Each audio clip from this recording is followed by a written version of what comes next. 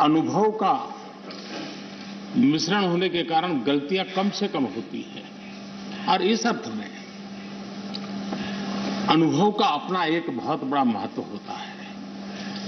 और जब ऐसे अनुभवी साथी सदन से जाते हैं तो बहुत बड़ी कमी सदन को होती है, राष्ट्र को होती है।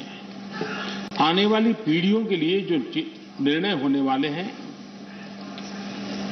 उसमें कुछ कमी रह जाती है। और इसलिए जब अनुभवी लोग जाते हैं, उनके लिए यहाँ बहुत कहा जाएगा, लेकिन जब अनुभवी नहीं यहाँ है, तब जो है, उनकी जिम्मेवारी जरा और बढ़ जाती है। वो जो अनुभव की गाथा यहाँ छोड़ के गए हैं, जो बाकी यहाँ रहने वाले हैं उनको, उसको आगे बढ़ाना होता है। और जब वो आगे बढ़ाते हैं तो सदन की ताकत को कभी कमी महसूस नहीं होती है। और मुझे विश्वास है कि आप जो साथी आज विदाई लेने वाले हैं, उनसे हम जो सभी सीखे हैं, आज हम भी संकल्प करें, उसमें से जो भी उत्तम है, जो श्रेष्ठ है, उसको हम आगे बढ़ाने में इस सदन की पवित्र जगह का ज़रूर हम उपयोग करेंगे और ताकि देश को समृद्धि में बहुत काम आएगा। एक लंबा समय हम इस चार दीवारों के बीच में बिताते हैं। हिंदुस्तान के हर कोने की भावनाओं का यहाँ प्रतिबिंब, अभिव्यक्ति, वेदना, उमंग, सब कुछ यहाँ पर एक प्रवाह बहता रहता है। और उस प्रवाह को हम भी अनुभव करते रहते हैं। लेकिन कभी हमको लगता होगा कि मैंने इस सदन में बहुत कुछ कंट्रीब्यूट किया। बहुत सच्चाई है।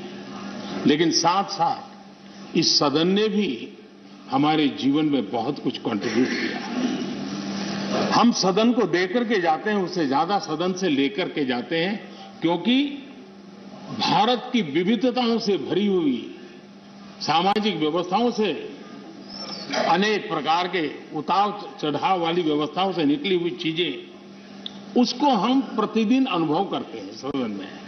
और इसलिए मैं आज यही कहूँगा कि भले हम इन चार दीवारों से निकल रहे हैं, लेकिन इस अनुभव को राष्ट्र के सर्वोत्तम हित के लिए चारों दिशाओं में ले जाएँ, चारों दीवारों में पाया हुआ चारों दिशाओं में ले जाए। ये हम सबका संकल्प रहे और हमारी ये भी कोशिश रहे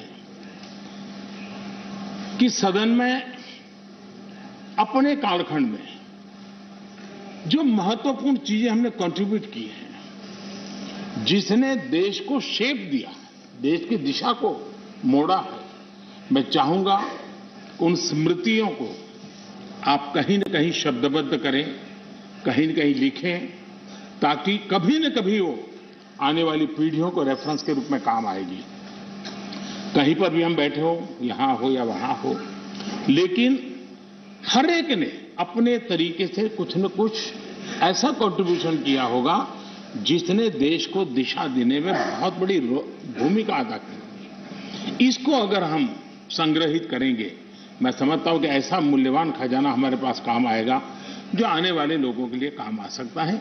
यानी एक इंस्टीट्यूशनलाइज व्यवस्था के तहत उसका उपयोग हो सकता उसी प्रकार से मैं ये भी चाहूँगा ये आज़ादी का अमृत महोत्सव है। आज़ादी के 75 साल हुए हैं। हमारे महापुरुषों ने देश के लिए बहुत कुछ दिया। अब देने की जिम्मेवारी हमारी है। हम यहाँ से उस भाव को लेकर के क्योंकि अब थोड़ा समय ज़्यादा होगा हमारे पास। जब यहाँ से जा रहे हैं तो सभापति जी का बंधन भी नहीं होगा। तो आप बड़े खुले मन से एक बड़े मंच पर जाकर के आज़ादी के अमृत महोत्सव के इस महामूल्य पर्व को माध्यम बना करके आने वाली पीढ़ियों को कैसे प्रेरित कर सकते हैं, उसमें अगर आपका योगदान रहेगा मैं समझता हूँ देश को बहुत बड़ी ताकत मिलेगी, बहुत बड़ा लाभ मिलेगा। मैं सभी साथियों को, मैं इंडिविजुअली उल्लेख नहीं कर रहा हूँ। सभापति जी ने कहा है कि व्यक्तिगत मिले तो कह देना तो मैं व्यक्तिगत ज़रूर कोशिश करूँगा। आप सबको अपनी अच्छी अच्छी बातें बताऊँगा। आपकी जो अच्छी बातें हैं, उसको मैं ज़रूर नोटिस करता हूँ। मैं फिर एक बार आप सबको बहुत बहुत शुभकामनाएँ देता हूँ। धन्यवाद। धन्यवाद, प्रधानमंत्री जी। श्री तो राज्यसभा से जो सांसद रिटायर हो रहे हैं, उन सांसदों को प्रधानमंत्री एक गुडविल फेयर जेस्चर दे रहे थे। उन्हें कह रहे थे कि आप अपनी जितनी स्मृतियाँ हो सके, उन्हें लिखिए, अपने अनुभवों को शेयर कीजिए, ताकि आने वाले वक्त में आने वाली पीढ़ियाँ उन्हें लिखिए, अपने अनुभवों को शेयर कीजिए, ताकि आने वाले वक्त में आने वाली पीढ़ियाँ, वो लोग जो संसद में आना चाहते हैं और अपने लोगों को प्रतिनिधित्व करना चाहते हैं उन लोगों तक वो बात पहुँच सके देश की सेवा करना चाहते हैं वो देश की सेवा कर पाएँ अपने अनुभवों को लिखें और यहाँ के अनुभव ज़रूर साझा करें। रिटायर हो रहे सांसदों का उन्होंने कहा कि आप इस मंच का इस्तेमाल आपने जिस भी आ, सवाल के लिए किया है जिस भी पर्पस के लिए किया है वो आप आगे जाकर के ज़रूर अपने पीढ़ियों को बताएँ। यहाँ पर वो देने के लिए तैयार भी हो गए। तो मैं ये कहूँगा, एक शहर उससे मैं प्रारंभ करूँगा। कहाँ से शुरू करें? कुछ समझ नहीं आता है। कहाँ से शुरू करें? कुछ समझ नहीं आता है। आपकी विदाई के ज़िक्र से दिल भर आता है। सो आपकी विदाई से अपना दिल भर के आता है। और मैं ये देखा हूँ, जब आप विदाई की भाषण जब जून में यहाँ पर कर रहे थे तो उस वक्त भी बहुत आपकी भावना और आप सभापति जी, प्रधानमंत्री जी विरोध पक्ष के नायक और बहुत से सभी ने मिलकर जो उस वक्त बात कही, उसको भी मैं देखा और सुना। तो इससे यही ज़ाहिर होता है कि ये अपर हाउस का कितना महत्व है। और ये अपर हाउस, ये चेंबर ऑफ़ आइडियाज़ है। यहाँ पर पूरे इंटेलेक्चुअल्स हैं और हर फ़ील्ड में जो काम करते हुए आए हैं बहुत से एक्स चीफ मिनिस्टर्स हैं एक्स प्राइम मिनिस्टर हैं और, अनेक मंत्रीगण हैं सभी लोग और हर फ़ील्ड में काम करने वाले नेतागण यहाँ पर बैठे हुए हैं। तो इनका अनुभव बहुत कुछ हमको भी मिला। मैं तो सबसे जूनियर मेंबर हूँ। सिर्फ़ मुझे यहाँ आके दो साल हुआ। अभी कंप्लीट नहीं हुआ, जून को कंप्लीट हो जाएगा तो मुझे भी सीखना है। मुझे सीखने को मिला बहुत से लोगों से। और आज हम अप्रैल से लेकर जुलाई तक 2022 के बीच 19 राज्यों के अपने बहत्तर सदस्यों को, साथियों को विदाई दे रहे हैं। 19 राज्य के।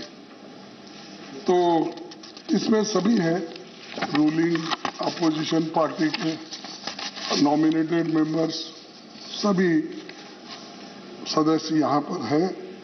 तो ये हम सबको ये याद रखना है कि जो यहाँ पर बहुत से विचारों का आदान प्रदान होता है और नई नई चीज़ें हमको सीखने की मिलती है।